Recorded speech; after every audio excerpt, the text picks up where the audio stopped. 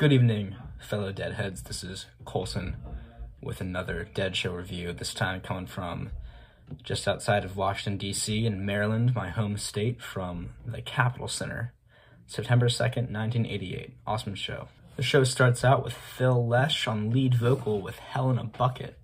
Pretty interesting song. And then that song stops for the crowd to cheer, show their appreciation for the band. Then they start jamming out to They Love Each Other, which is a very awesome song, but it's a little bit uh, different than how they usually play it. It's like a little bit more mellow, uh, more heavy on keyboard, just more of a bop along kind of song rather than like a song, if you know what I mean, which you probably don't, but it's cool. And then that song flows pretty well into uh, New Minglewood Blues, which is pretty seamless. My favorite part of this show uh, is when they sing or when they play Scarlet Begonias into Fire on the Mountain. It's like 20 minutes in total.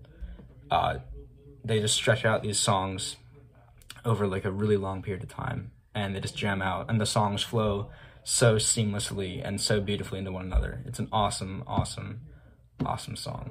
Just going back to what I said earlier about how the crowd just absolutely adored this show. Uh, when the Grateful Dead started playing Scarlet Begonias, they had been just tuning their instruments for about a minute to ensure that for this whole Scarlet Begonias Fire on the Mountain song, they'd have perfect tune, which they did. And they just jumped into the first note.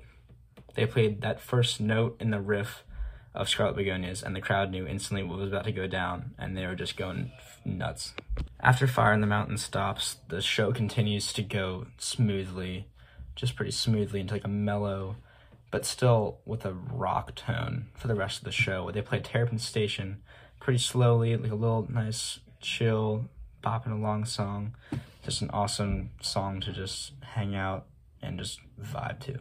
Now, one kind of interesting thing about the Grateful Dead that not too many people know about is their drum and percussion section. They had a percussion section that's about four or five times the size of a regular band what like that a regular band would have. They have just any percussion instrument you could fathom back there behind the stage, and they go uh, after Terrapin Station to play it, uh, just the drums, just a, a drum riff for about eight minutes, and it's just a fun song to just vibe and listen to while uh, Jerry and Phil and Bob can take a break.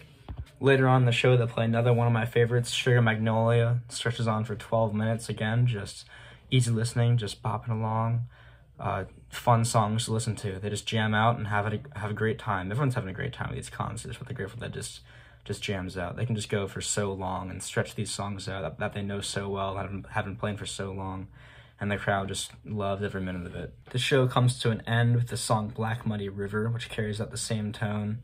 Uh, the show basically had a little bit of rise, a little bit of fall, and Black Muddy River is a great way to close it down. The crowd loved the show. This was a good concert. Goodbye.